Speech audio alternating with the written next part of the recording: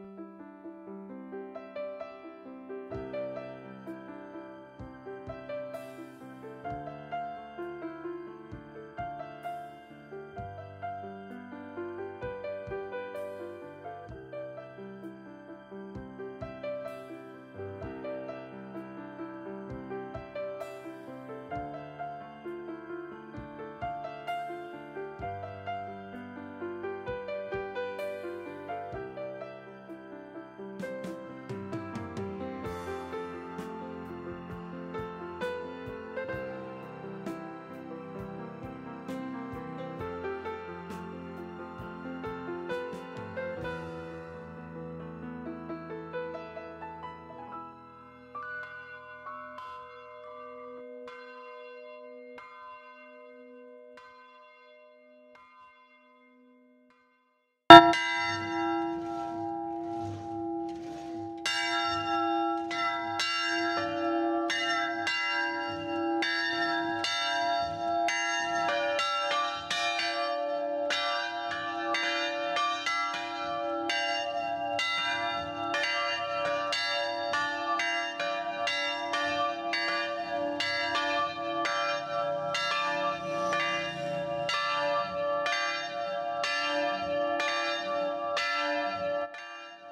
Očeta, Sina in Svetega Duha.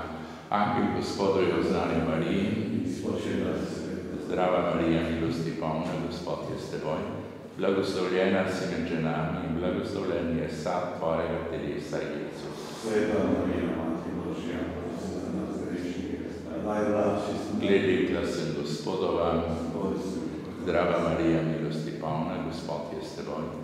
Blagoslovljena si med ženami in blagoslovljen je sad tvojega telesa, Jezus. Sveta Marija, Mati Božja, prosi za nas grešnike, najlažji smo. In besede niso postala In pred nami prebila. Zdrava Marija, milosti polna, Gospod je s teboj, blagoslovljena si med ženami in blagoslovljen je sad tvojega telesa, Jezus. Sveta Marija, Mati Božja, prosi za nas grešnike, najlažji smo. Prosi za nas, sveta Božja porodnica, molimo milost tvojo, prosimo te, Gospod, v naša srca vli, da ki smo po angelemu znamenju spoznali človečenje Kristusa tvojega Sina, po njegovem trpljenju in križu dosežemo častitljivo stajenje, po Kristusu Gospodu našem. Amen.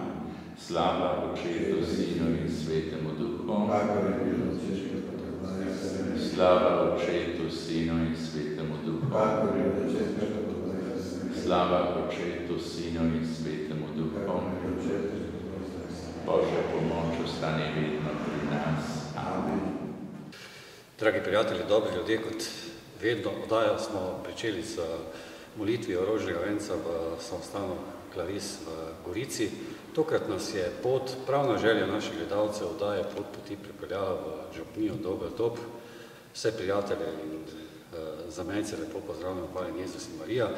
In uh, na željo naših gledalcev gostim tukajšnjega župnika Ambroža, Bog vas živi in vesel sem, da se z nami. Hvala lepa. Upam, da bo o, oddaja zanimiva in je prav, da vam kar predam besedo. E, tudi se ob tej priložnosti zahvaljujem našim zamejskim zoncem za obilno pošto. Morda bi se nam na kratko predstavili. Ja, preprosto. Ime mi je Ambrož Kodelja, rojen sem v župniji Deskle, leta 39, torej nekaj let že imamo. E, končal sem v Ljubljani e, teološko fakulteto in tako sem v Doberdobu že nekaj let. Naša župnija Doberdob je pač zadnja slovenska župnija na slovenskem ozemlju na zapadni meji. To se malo čudno sliši, vendar tako je. Naprej od nas je že drugi narod, torej tam so že italijani oziroma še prej furlani in pizjaki. Župnija sama ima okrog 950 prebivalcev. Na nedeljo se nas zbere pri maši različno, recimo tako od 150 do 210, 220. Seveda za praznike pa to znatno več, pa tudi za razna praznovanja. Posebnost župnije je mogoče ta, da pri nas imamo vse v slovenskem jeziku, razen eh, evangelij priberemo v italijanščini še, če je kak, primaši še kak italijan. Glavno pa je populacija slovencev, ker italijani, okoliko jih je v vasi, koristijo usluge eh, sosednje župnije, ki je dva kilometra oddaljena, to so ronke. Eh, Župnija sama na sebi je tipična, lahko rečemo, kraška župnija. Prebivalci so v glavnem delavci, kmetov skoraj ni več, razna peščica in so zaposleni v teh večjih centrih, kot je Trst, Tržič, Gorica, nekateri pa tudi Videm. V vasi imamo slovensko osnovno šolo, slovenski vrtec ali lepše povedano šolo slovenskim učnim jezikom. Pri nas je v šoli isto število ur kot v Sloveniji, samo s to razliko, da imajo učenci še pet ur italijanščine več kot vaši in pa eno uro veruka, tisti, ki se eh, k veruku prijavijo. Veruk drugače imamo v župniji samo za zakramente, to je prvo obhajilo in birmo. Oba veruka potekata dve leti, po eno, eno uro na teden in imajo tudi še zraven razne dejavnosti, recimo sodelovanje pri maši, obisk kot kakšnih oratorijev in podobno. Župnija je pretežno slovenska, pri nas nas je še zmeraj nekaj čez 7-98% slovencev, italijanski otroci, ki obiskujejo slovensko osnovno šolo, pa prihajajo normalno k slovenskemu veruku in tudi slovenskim mašam, ki tisti, ki so popolnoma italijani. Vernost je pri nas nekoliko drugačna od slovenske, morate pa upoštevati to, da do 15. septembra 47. leta je bil to, to eh, skupen prostor od Pantiveka, lahko rečemo. No, in eh, je bil to del krasa, eh, ki so se ljudje med seboj poznali, danes je pa seveda meja 15. septembra 47. leta precej razdvojila ta del krasa, in tudi ljudi iz gornjega krasa in nas tudi predvsej eh, oddaljila, tako da se skoraj mladi med seboj ne poznajo več. Morda je prav, da našim gledalcem poveste, kje sem jaz danes vaš gost. Ja, vi ste naš gost danes na Dobrdobu eh, in eh, ogledali smo se nekaj okolice Dobrdoba, in se nahajamo pa v župnijski crkvi svetega Martina.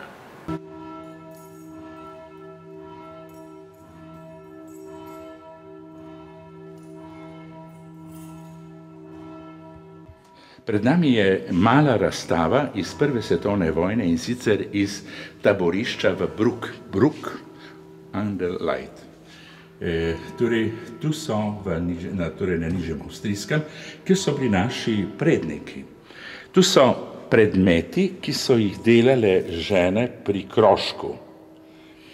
Naprimer, fotografija kaže eh, cesarico Cito, ki je obiskala de, eh, taborišče.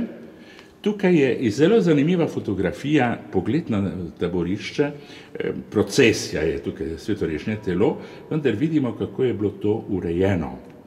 Potem krajevni škof, ne, krajovni škov, tukaj tudi tam. To. Potem so pa tukaj igrice, igrice, ki so jih imele žene. Tu je še originalni zapisnik od gospodinstva, tu enako in tukaj je gospodinski krožek, gospodinski krožek, tam je Marina kongregacija, tu je eno tako kvazi ljubezensko pismo, ki je pisal eden od vojakov, ki kdo ve, kaj je bil, no, tudi ni ne slovenščina, ne češčina. No, e, tu je pa en vzorec z letnico 1916 Bruk. 1916, ki je bilo izdelano tudi v samem, v samem eh, taborišču. Poleg tega so pa tu neke take umetniške fotografije iz Prve svetovne vojne, eh, ki je pa avtor naša, ena naša deklica, ki študira umetnost. No, to so razni predmeti iz Prve svetovne vojne, eh, bodi si doma, pismo in podobno. Tu zadaj, tukaj so izdelki, zelo lepi izdelki, ne, ki so jih naše mame delale. Ne. Obene pa je tu eno pismo, fantovo pismo iz 31. maja 15, preden so šli v, na, v taborišče, torej od doma v begunstvo, kaj ne nesijo seboj, kako naj se obnašajo in podobno. Naši predniki zaradi prve svetovne vojne, torej ko je nastala pri nas fronta, so morali zapustiti svoje domove in so šli v različne kraje. Nekateri so, nekateri so peljali v Bruk ob Muri in tu je ta primer pokazano, kako je izgledalo življenje tam. Vidimo, da je bilo zelo organizirano. Imeli so eh, šolo, pouk tudi v nemškem, nemškem jeziku. Moja mama je zelo dobro pisala nemščino, tudi celo gotico je obvladala. Eh, potem predmeti, ki so bili gospodinstvo, higiena, ne, tukaj vidimo, kako lepe pisave so imeli in veliko, imeli so pa veliko ročnega dela. Drugi so šli pa od nas recimo na Dolensko, nekateri so šli celo v Bohin, eh, nekateri nižje dol, Furlani, so šli pa v Vagno, Vagna tudi v Avstriji. V spomin na prvo svetovno vojno smo pri nas pripravili en takšen križ, to je eh, Liza Hribarjeva naredila nekoč, mi smo pa še dodali dober dob, 1915-17. Kot spomin na Prvo svetovno vojno, nekateri naši ljudje so si to omislili in tudi imajo doma kot spomin.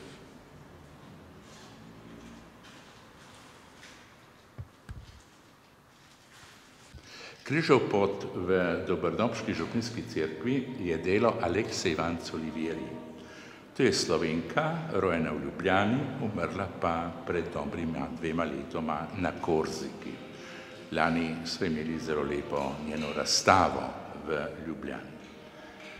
Slikarka je v slovenskem prostoru manj znana, manj poznana, v svetovnem merilu pa je zelo znana. Čisto slučajno sem jo spoznal in jo prosil, če bi za našo crkv naredila oziroma narisala postaje križevega pota. Celotna upodobitev je po svoje zelo zanimiva. Nek primer začne z osebnimi liki Kristusa, prva Pilat obsodi Jezusa na smrt, v zadnjem množica, potem so pa take umirjene, umirjeni prizori, kot nekakšni Jezusovi portreti. V tem drugem delu pa je slikarka prešla na figure, na stoječe figure. Je, Jezus sreča svojo mater, Simon, Veronika in Jezus pade. Posebnost je ta postaja, šesta postaja Veronika poda Jezusu potni prt. Tu je upodobljena eh, sirska legenda, ko pripoveduje, da je, je Veronika okamenela, ko je zapazila na obrtu Jezusovo obličje. To je zelo lepo prikazano. V tem sklopu štirih postaj ista, izstopa recimo za, zlasti tam, ko je Jezus srečal jeruzalemske žene. Lepi liki, bolj nekje afriških žena, eh, z lepo pozo, ki nekje ponazarjajo to postajo. Potem pa preide v križanje, ki lahko rečemo, da je to ena taka divja, divji prikaz rabljev, ki so ob njem. Zadnje tri postaje so tudi po svoje zanimive. Jezus križan in v ozadju še dva razbojnika, pieta, svojstvena pieta, in na koncu Jezusa položijo v grob. To je pa aramejski pogreb, ko truplo povijajo z povojem in obraz ostane viden izven povoja. Ko, češ, ne, ko se srečamo z Bogom iz obličja v obličje. Naša vas nima nobenega eh, simbola ali kraja, ker bi se lahko eh, nekje spomnili prve svetovne vojne. Mislili smo to zunaj postaviti, vendar so mi naši verniki svetovali, da ne bo to v crkvi.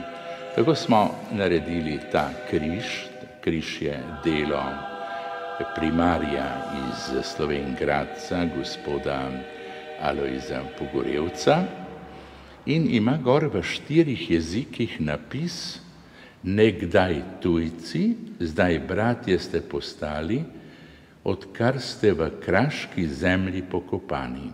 In sicer na vrhu je mačarski, sledi nemški, slovenski in spodaj je italijanski. Nahajamo se v župniji Jamlje, to je župnija tik ob slovenski meji, naprej na slovenskem krasu, torej na goriškem krasu. Prva župnija naprej je Brestovica, to je že pod Škofijo Koper. Cirkvica je posvečena svetemu Antonu Padovanskemu in sicer crkvenemu učitelju, bomo videli pozneje. Zunanjost je malo posebna, v, v niši, v zvoniku imamo lep mozaik Marije Svetogorske. V Lopi je mozaik s slomškovim rekom in sicer prava vira vodi vam luč, materin jezik vodi vam ključ do zveličavne narodne umike. Slomšek je tako povedal, ne sveta vira, ampak prava vira bodi vam luč. To je originalni njegov zapis. Cerkev je posvečena svetemu Antonu Padovanskemu, to je ena redkih upodobitev svetnika brez Jezusa, sam s knjigo v rokah, ne kot nekakšen crkveni učitelj. Potem imamo dve stranski sliki, Blažen Anton Martin Slomšek in pa Marija Zavetnica Jana. Zanimiv je tudi križev pot, ki je odtenek Lize Hriberjeve. In uh, tu zadaj, tu zadaj pa je uh, tudi to, je ena slika, zelo skromna, ko so 46. leta, 19. marca, prišli iz ujetništva naši eh, jameljci. Ob strani pa imate tu zdaj napis, da je blaženi Karl I., Karl Franz Jožef, avstrogarski cesar, 22. leta umrl na Madeiri, v noči od 28. na 29. oktober 1917 molil skupaj z vojaki, med katerimi je bil tudi oče nepokojnega gospoda Antona Prinčiča in je tukaj tudi prenočil. To je ena taka, en tak simboličen primer.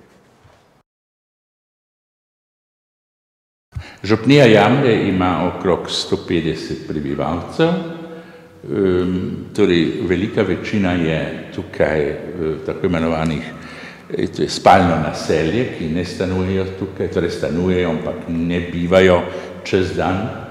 E, maši se nas bere takole od 35 do, 4, do 45 vsako nedeljo.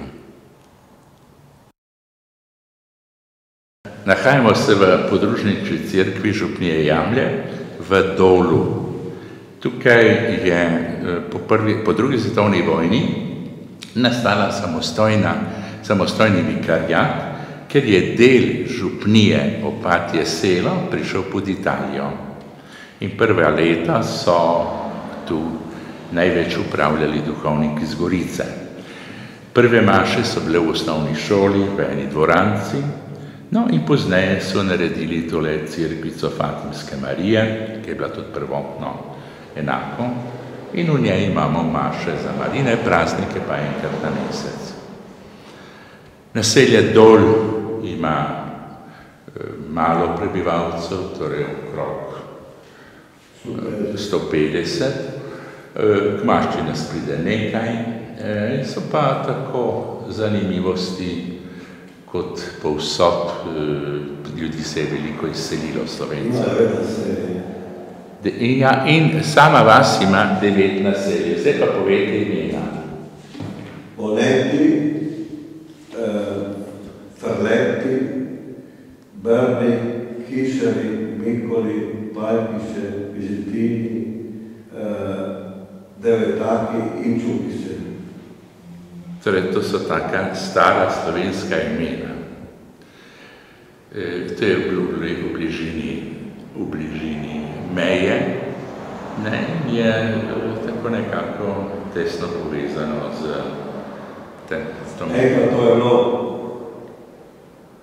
pod opaticem. Ja, tudi od tukaj so vozili pokopavati do druge svetovne vojne v Opatje selo. In občina, italijanska občina je bila tudi Opatje selo. Ni bila dober dob.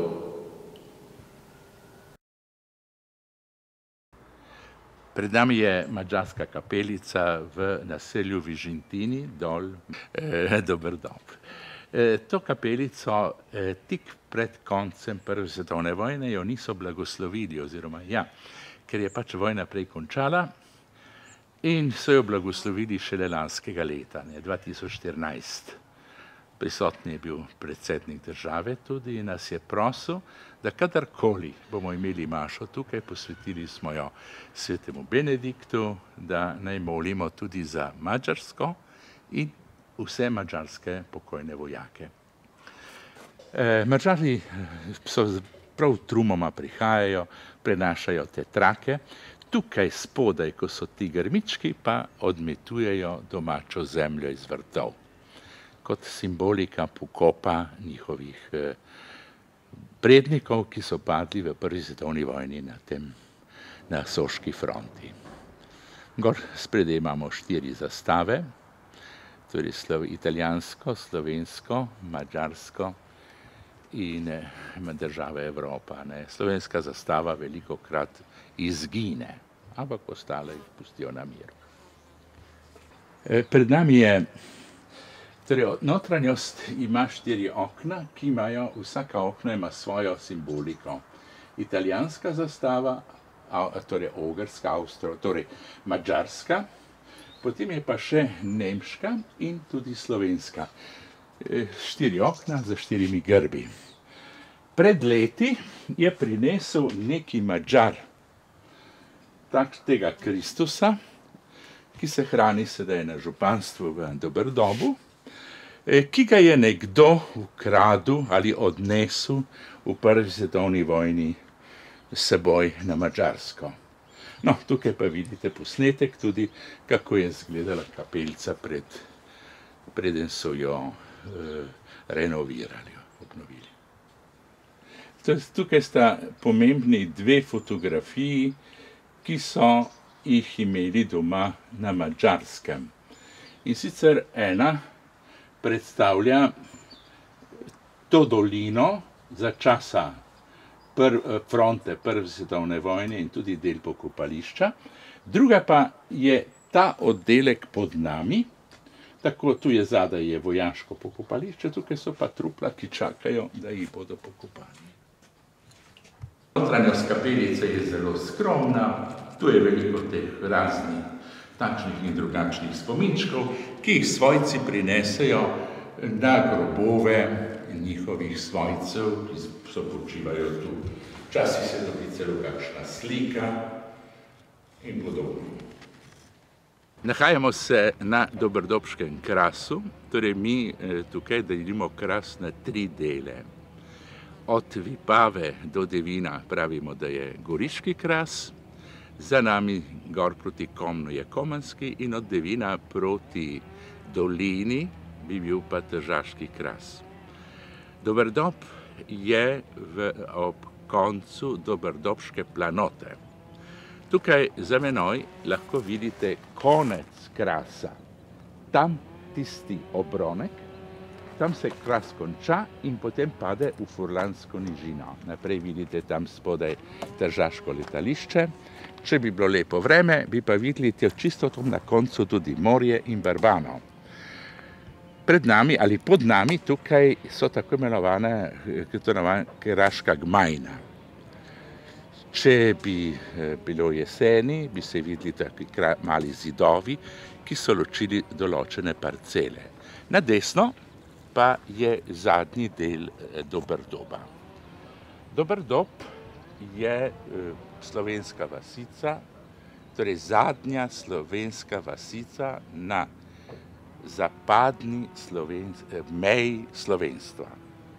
Tukaj naprej za tem Gričkom pa že pridemo do drugega ljudstva, torej gotovo italijani, ampak tam v glavnem so furlani bili svoj čas. Še prej pa so bili tukaj, oziroma sej so še, bizjaki.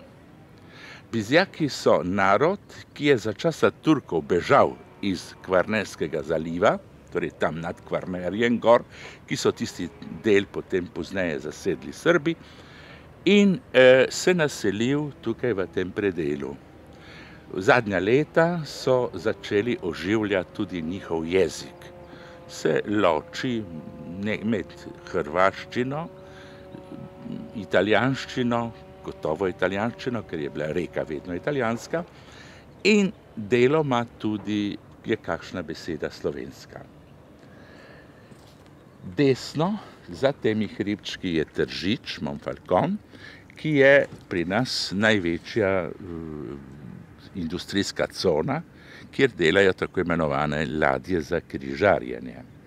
Naprej dol naravnost bi je pa že morje in bi videli lahko Barbano in tudi izliv Soče.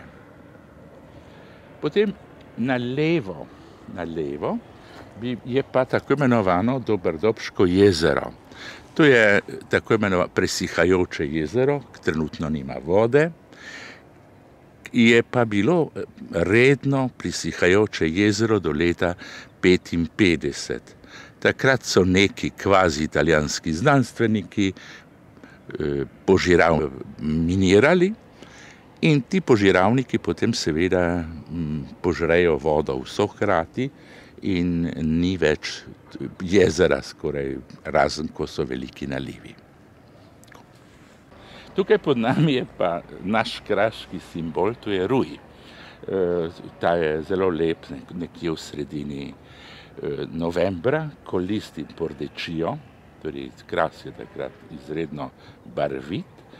Trenutno pa vidite cvetje, rujevo cvetje, ki naredi potem take male bunkice in ptice to raznesejo povsod in se to povsod tudi potem zasadi. Tipična kraška rastlina. To je tako imenovani center, kjer je majhen muzej, kraški muzej, potem je tam zraven tudi ena mala kraška soba za razne prireditve, ki so včasih, pa tudi kakšne poroke imajo tu. Tu prvotno je bil do vojne Silvej. To je bila nemško, nemška tvrtka, ki je proizvajala kredo. V tej tvrtki na Poljskem je bil zaposlen nekaj časa tudi sveti Janez Pavel Drugi. Zadnje čase imamo izredno veliko obiskov Madžarov, kajti tukaj je padlo zelo veliko Madžarov. In pred nami je slika, kako je izgledal Avstro-Ogrski jarek, Šicgraben, so rekli takrat naši stari očetje, ko so bili vojaki, ne. Iz raznega, iz raznega vejevja so napravili takšne ograde, zadaj pa nametali zemljo. Prva svetovna vojna je eh, Dobrodob popolnoma zravnala z zemljo. Tu je stara Dobrodobška crkva, brez zvonika, zvonik so pod, torej tako so jo razbili italijani. In eh, pred njo, ja, ča, italijani so imeli v naši crkvi eh, bolnišnico. In še pred leti je bil tukaj sin enega od eh, takratnih bolničarjev, ki živi nekje v južni Italiji in je pripovedoval, kaj mu je oče pripovedoval. Tukaj so uh, avstrijski, voj, to so avstrijski vojaki pred porušeno crkvijo v Dobrdobu. No, eh, ta slika je pa tudi zabavna. Poglejte, tu vidite Dobrdobško jezero, takrat je bilo zelo veliko vode in je vas tudi nekje od jezera živela, bodi si, da je bil tam spravljen v vas eh, vodovod, pa tudi nekaj ribištva je bilo. Danes se tega ne vidi. To so pa tipični kraški zidovi, ki so ločili parcelo, lastništvo parcel, parcelo od parcele. Tukaj so pripravljeni takšen mali ali mini botanični vrt, ko prihajajo šolari, da jim lahko predstavijo posamezne rastline, rastlinje, krasa. E, jezero, tudi tam simbolizira jezero, tisto, je zelo zanimivo. Ima tako imenovane tolmune, tolmune e, ki so pa izredno globoki. E, lansko leto je skupina e, z, e, držaških karabinirjev, torej en takšen poseben vod, ki skrbi za raziskavo, pa tudi za pomoč eh, pri potapljanju, bodi si po raznih greznicah, kanalih in podobno. Posnel je zelo zanimiv film, podvodni film o dobrodobši, od globini ali kanal, torej teh požiravnikih eh, Dobrodobškega jezera. In tam se je res videlo, kako zanimiv je ta svet, seveda poln listja, ampak kljub temu je zelo živaten. In je tudi zelo bogata flora, pa tudi rastlinska fauna, eh, flora in fauna v, teh, eh, v jezeru samem. No, to je eh, primer timjana, ki je bil svoj čas po krasu zelo razširjen, ima tudi posebno dober med, timjanov med. O žepih mu pravijo, pa nas pravijo pa žimen za temu. Ne? Na vrhu imate salvijo, divjo salvijo, ki je podobna domači, ampak je zelo, zelo uh, tudi zdravilna. Kaj je pa tako imena plezalna stena ali sej učijo se plezati. Ne? In je zelo zanimivo, prav male vidite, velike, včasih sedaj pa tudi kdo dol štrbunkne. In takrat pokliče helikopter. V prvi svetovni vojni je tukaj potekala fronta.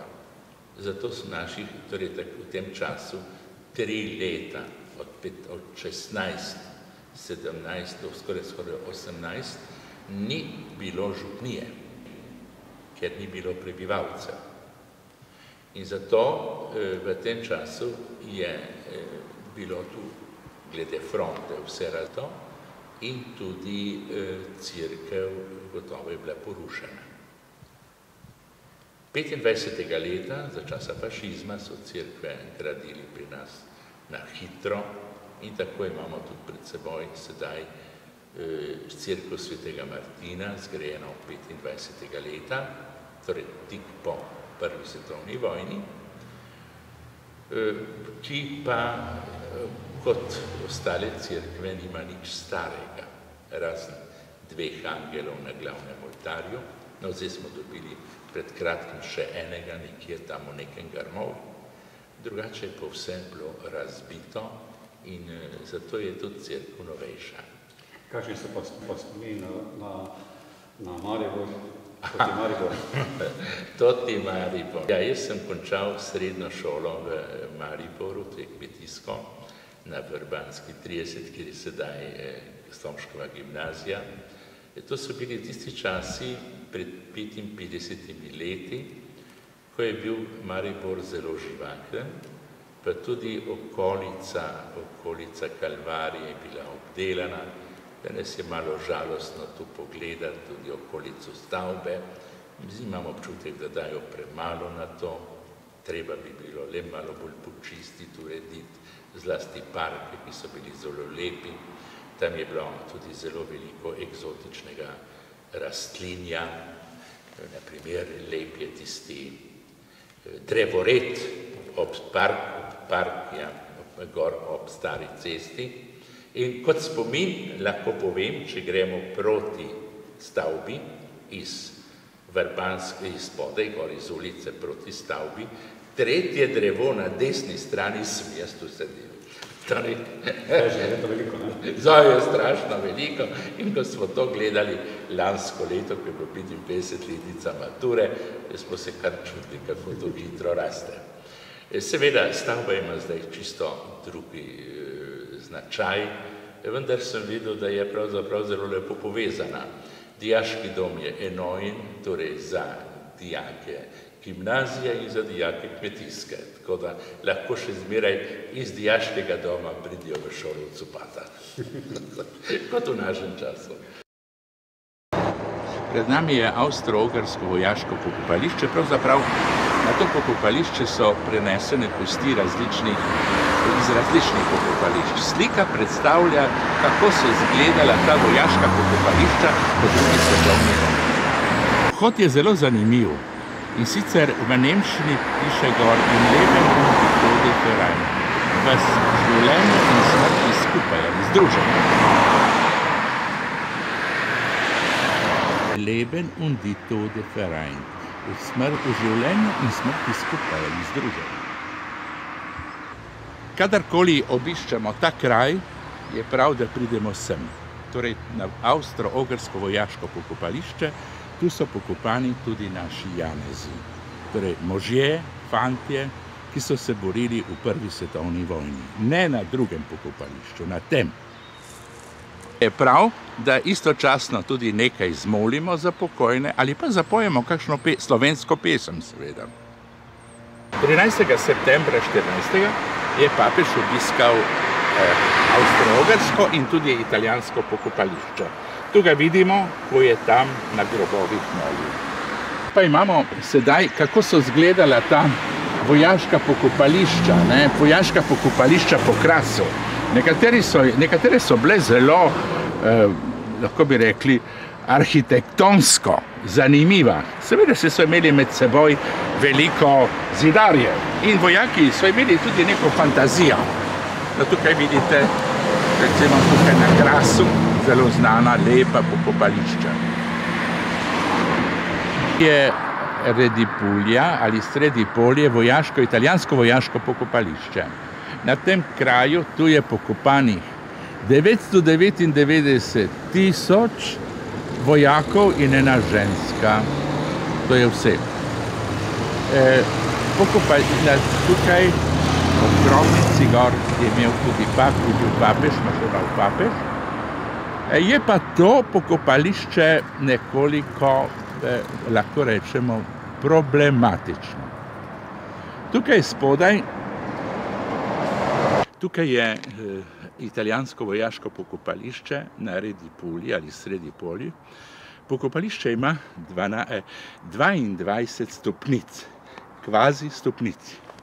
In sicer predstavlja pa tole vojsko, ki je postrojena za napad. Spredaj imamo pet, pet eh, grobov, eh, petih, eh, voja, torej petih armadnih generalov in spredaj naprej je pa general Duka da Osta. E, e, rahu problem tega pokopališča je sledeč. V sredini, v sredini so levo in desno napisi v italijanskem jeziku od eh, krajev, kjer je tekla eh, Šoška fronta. Med tema dvema, tu je največji prihod na pokopališče, so pa italijani zasuli kosti avstrogorskih vojakov. Tako da prihajate po poražencih k zmagovalcem.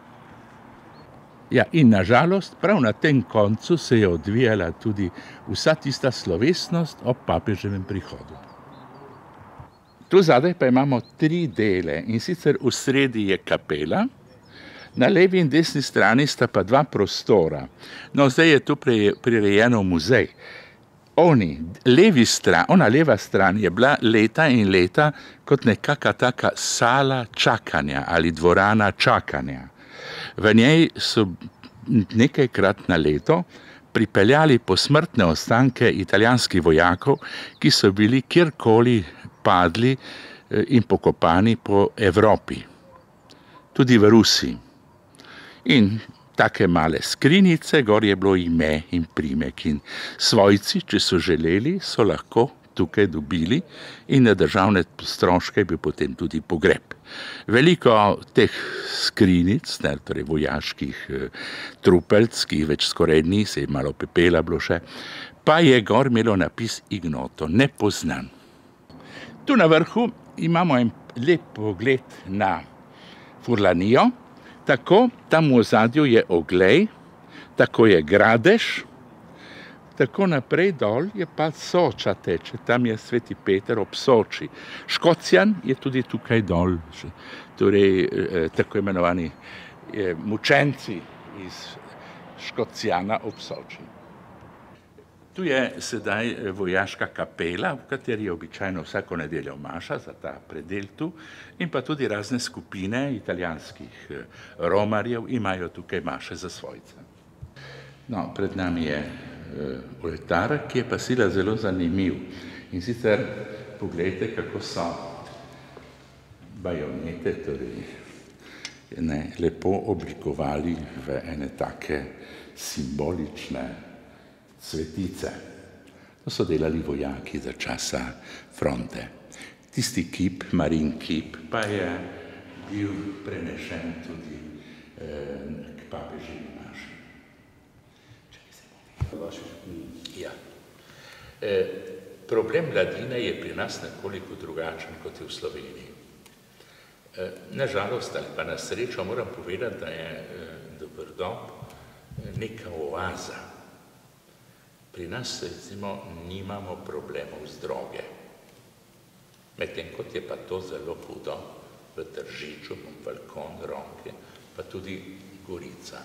Torej ta problem zaenkrat še ni udaril v ta prostor. Mogoče zato, ker so naši učenci bolj tako nekje kvazi izolirani. No, imajo so, so doma, od prvega razreda, od prvega razreda vrtca preko pet razredov osnovne šole in potem še tri razredi nižje srednje do male mature, kot imamo mi. Potem pa se raztepejo. Zdaj imamo že prve, prve dijake, ki obiskujejo srednje šole v Trstu, v prejšnjem času so vsi obiskovali v Gorici. No in nekaj že hodi tudi zlasti na poklicne šole v Slovenijo. Eh, problem, problem eh, mladine glede vire, vire. Ne. Tu ostaja en velik problem v družine. Ker če otrok ne dobi osnovnih kali vire v družini, jo potem to, kar dobi pri veruku, vzame kot šolsko snov, ne kot življenjsko vodilo. Pri nas poteka verok, verok v šolah, torej eno uro, ki pa pravzaprav več ni verok, čeprav v prijavnici, ko jo prijavijo starši, če gor za rimokatoliški verok. Italija ima tri oblike veroka v šolah. Ko je nastal novi konkordat, so vprašali vse veroizpovedi v državi, ali želijo verok. No, in prijavili so se rimokatoliki, mi in pa judje. E, Valdežani, italijanska pravoslavna skupnost, je rekla, so sklicali koncil, sinodo in so rekli ne, mi bomo imeli verok v župnijah če bi lahko hodi k katoliškemu veruku. Tako da smo imeli včasih pri katoliškem veruku, zlasti na višjih, vaših srednjih šolah, ljudi tudi drugih veroizpovedi. Recimo, jaz sem imel Ruse, sem imel Srbe in sem imel tudi dva protestanta in enkrat tudi enega juda. Torej, to je bilo pač treba verouk uskladiti tudi tem veroizpovedi.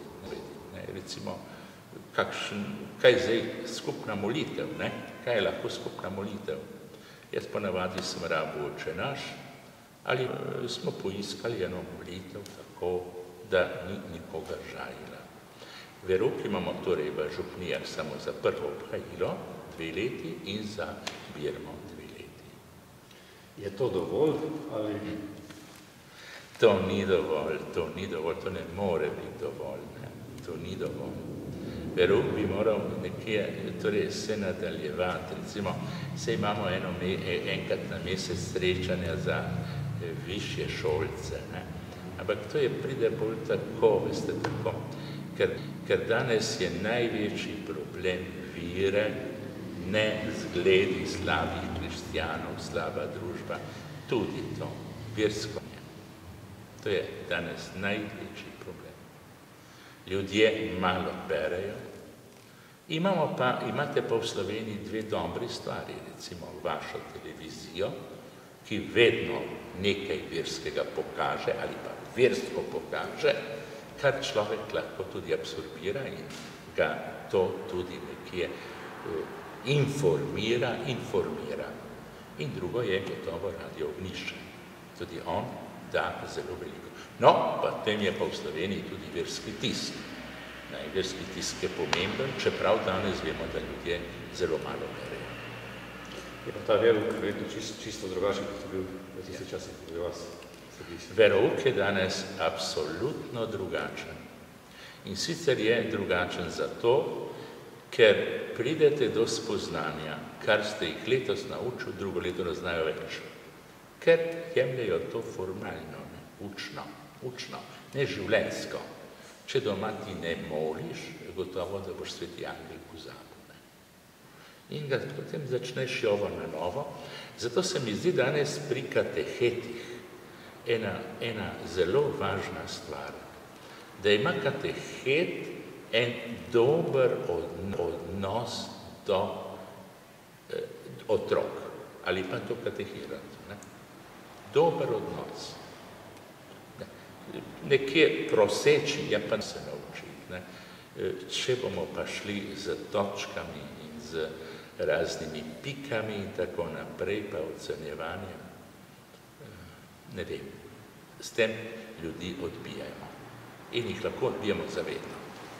Jaz bi še našega gledalca zelo povabil na krščanski strežnik AKC, kjer so tudi različne molitve v in lahko so tudi v audio obliki in eh, tudi v napisane, pa bi morali tisti, ki so morda pozabili ali si želijo zopet eh, poglobiti v molitve, da jih nekdo vodi, so prav eh, lepo vabljeni, tudi vidijo na ekranu.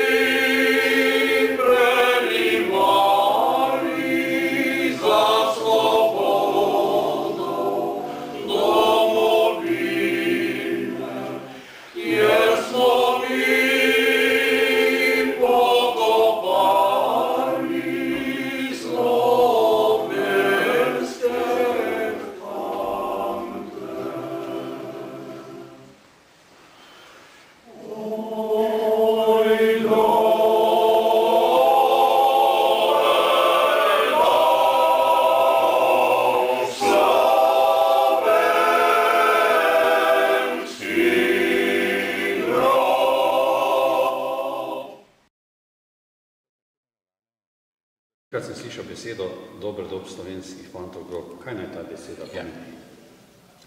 Poglejte, eh, ko sta prišla iz prve svetovne vojne, iz vojnega ujetništva domov moj tata in pa stric, to sta bila dva brata, oče je bil torej pri nas, stric je pa živel z nami. Torej, ona dva sta prišla tam iz Zakarpatov domov. Ko sta prišla domov, nista dobila nič drugega kot vse razbito. In iz raznih pločevin, ki so bile kjer sem razbite, so naredili neko kolibo in tako je bilo, to je bilo prvo domovanje. Potem je pa bil, je bilo treba zasaditi krompir. Krompir. Krompir sadimo v zemljo, v nive. Pri nas doma ali pri nas tukaj so bile pa nive pokopališča. In naši starši so posadili krompir med grobove. Tukaj bi vas opozoril na eno italijansko pisateljico, Suzano Tamaro. Ona ima lepe knjige, recimo Pojdi, kamor ti srce veli, srce iz špeha in tako. In v, in v eni knjigi, on rojena je bila na občina, živi pa v Arecu, v Toskani. Ona je v eni knjigi napisala to. Tam živi narod, kjer sem bil, torej bila je ena občina rojena, mislim na Slovence, ki se je preživel tako, da je srkal Strašna realnost. Torej, naši starši so živeli v tem. Pri nas je bil tu en sam grob. To ni bilo. To je bil en sam grob. Način vojskovanja v prvi svetovni vojni je bil drugačen kot v drugi svetovni vojni. Ne? Spominjam se, torej tukaj prihajajo različne skupine. In šli smo na vrh svetega Mihaela z neko skupino, to je bilo že pred 25 leti, in med njimi je bil en star mož.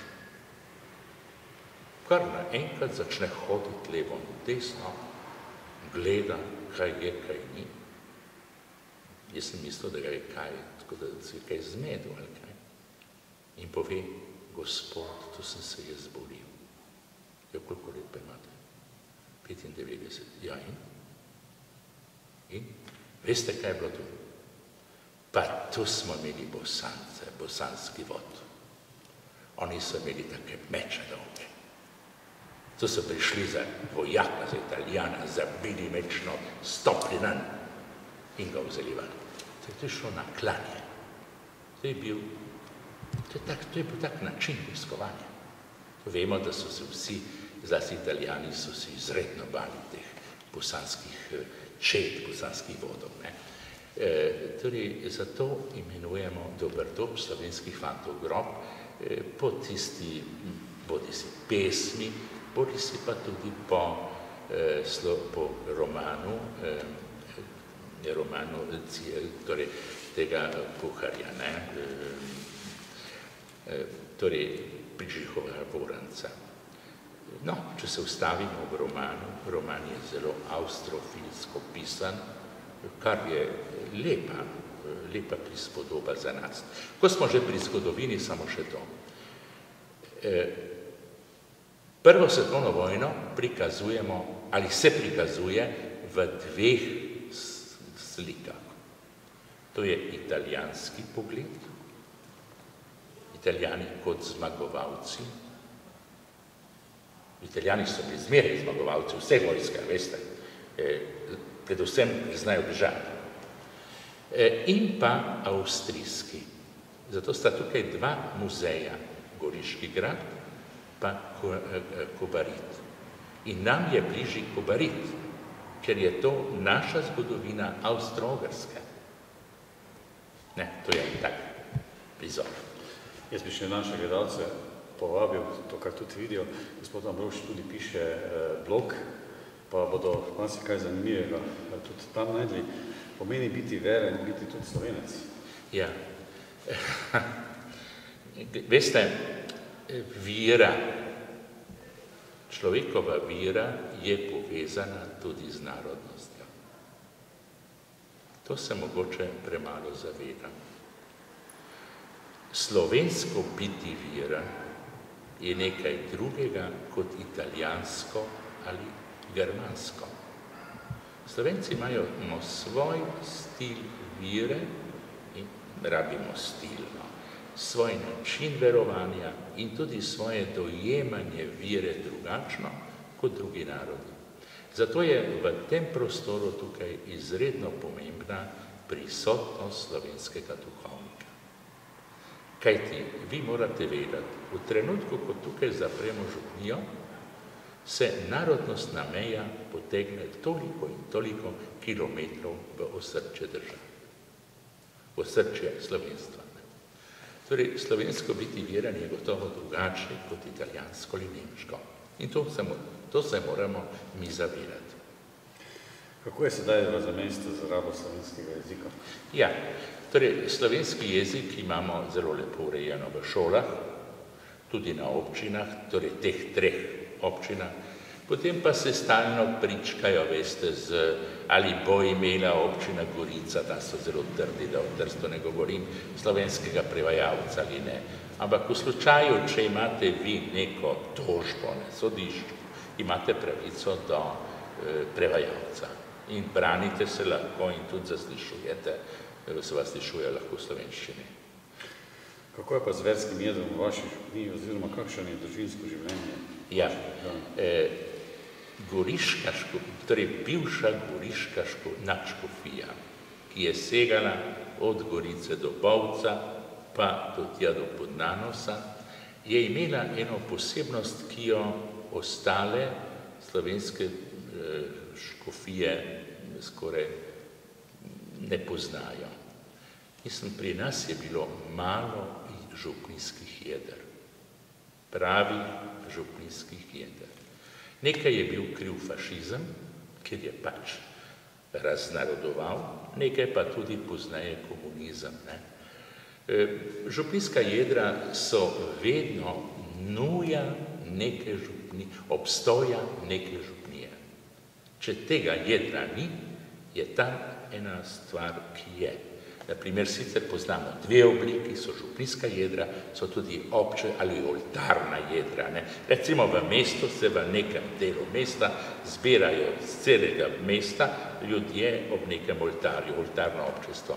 Ampak župnijsko jedro je pri nas sicer tako še kar močno, kot posebnost naj povem, da imamo sorazmerno procentualno lepo število mož, pa tudi fantov pri maši. No, seveda to varira, posebej ob času, ko so razni športi in tako, ampak e, obstaja. Prej sem omenil, da pišete blog, nam predstavite na kratko vaš koniček dopisane tole veselje. Ja, veste kaj, to tisti moj blog, pa, torej, to je prav takole, ne.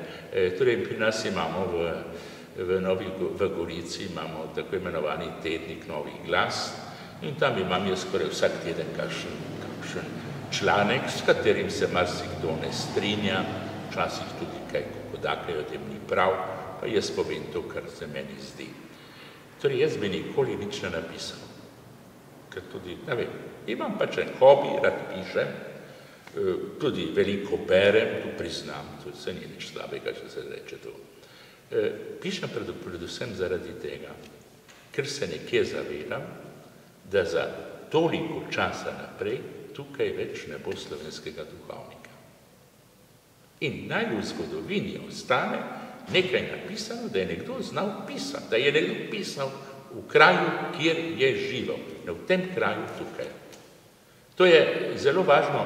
Veste, določeni slovenski duhovniki so, eh, primorski duhovniki, so pisali eh, razne eh, revije, celovec, v Ljubljano, kjer danes sploh ni več slovenske, eh, slovenske maše, slovenskega bogoslužja. Naprimer imamo duhovnika, recimo iz Ločnika, Ločnik pri Gorici. Tam je bil slovenski duhovnik, ki je pisal redno v, še za časa Slomška v, v celovec in tam je izhajala ena revija, ki je, en časopis revija, ki je bila namenjena pridiganju. Dobimo njegove napise, pa tudi iz, iz Beneške Slovenije. Ne. Danes tega, danes je pač tako. Menite, ker ste omenili vero, menite, da je resnično vera, da je to tudi velika vrednota vera? Glejte, eh, celotna, to je moj pogled, ljudje imamo pravico povedati svoje. Celotna kateheza, bodi si pri mladini, pa tudi kateheza odraslih, mora sloniti na eni zadevi. Ljudem moramo postavljati vprašanje, kaj je za njih vrednota. Nekomu je lahko vrednota avto. On tako misli. Drugemu je vrednota, recimo, lepa prinčeska, prinčeska, dobro nebo. Tretjemu je vrednota ne vem kaj, ne. Vira pa ostane vrednota človeku. In to vrednoto mu moramo, moramo ne samo kristijanu, vsakemu vedno na, na njo upozarjati. Ne glede kdaj, ne glede kje, ne glede kako. Ste vira, zavedajte se, da imate veliko vrednoto. To in to boste preživili, prerasto, bo šlo mimo, predvsem s pomočjo vaše osebne vire. Ste zelo lepo povedali. Ja. Menite, da če smo bolani, da je to lahko tudi dobro? Ja, veste, bolezen spada v tisti del človekovega življenja, ki ga imenujemo preizkušnja. Vsak doživlja svojo preizkušnjo. Občutek je tak, prebral sem tam, ko pravi, Bog postavi veliko krat človeka pred neki zid. Predvsem zato, da bi človek začel razmišljati o sebi. In veliko krat so tudi obolenja, trenutki, ko začnemo o sebi razmišljati. In gotovo bolezen ni vrednota, ne? je pa lahko neko sredstvo, s katerim lahko razmišlja, ob katerim lahko razmišljamo, kaj pravzaprav hoče Bog od. Res zanimiva oddaja časa tisti, ki imajo pelje k temu, da bo treba oddajo zaključiti. Morda kaj bi položili, da se te naši gledalci oddajo pot poti in morda bi jih ob tej priliki tudi povabili v vaše konce in verjamem, da bodo tudi imeli kaj videti, saj tudi naša ekipa oddaje pot poti je marsikaj videla. Torej, najprej bi vas se vam zahvalil, da ste prišli na naš goriški kras. Vsem nam pa bi mogoče položil na srce tisti slomškov rek, ki se glasi tako, prava vira bodi vam luč, prava vira. Mi smo tam naredili sveta, prava vira. Da imaš v sebi res pravo viro, ne viro praznovirja, ampak pravo. In zavedajmo se vsi skupaj, da je vera velika milost in da za to milost je pa treba se žrtvovati, predvsem pa tudi moliti. Drugo, pa kar bi bilo lepo, seveda, dobrodošli ste vedno na Dobrdobu, če želite kdaj na kakšno romanje, vas bomo potem že usmirili, bodi si v oglej, bodi si k nam ali kakorkoli že. Hvala lepa in naj bo Bog z vami. Tudi vam, hvala lepa, zahvaljujem se vam, gospod Župnik, Jezusa duhovnika Ambrož za sprejem, pogovor, misli, ki ste jih podelili z našimi gledalci. Uh, jaz vam v življenju želim obilje Božjega blagoslova, vse dobro. Jaz verjamem, da bomo z našimi gledalci v duhu molitve povezani in naj vam dobri Bog povrne večnost, da se to, kar ste naredili, pa še boste naredili uh, tem ljudem, zamejcem, slovenskim zamejcem, pa tudi ostalim v Hvala lepa. Dragi prijatelji, jaz se tudi vas uh, zahvaljujem za pozornost in se bomo poslovili z tega predela slovenski zamece iz župnije Dobrotop v Italiji z Hvala Jezus in Marija do naslednjega snidenja v vaši domači oddaji Pot poti.